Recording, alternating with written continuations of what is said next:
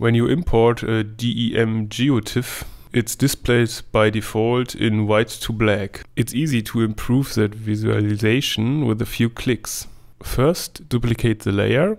The two layers will be lead to the same file. Open the layer properties from the lower layer and choose symbology. Change the render type to hillshade.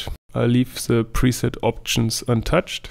Open the properties of the upper layer and choose Symbology 2. Change the render type to single band pseudocolor. Open up the color ramp drop down menu and click on create a new color ramp. Choose the catalog CPT city. Go to topography and choose elevation. Now we are choose the blending mode. My favorite is multiply Activate the lower layer. Now you can see the hillshade through the color grading.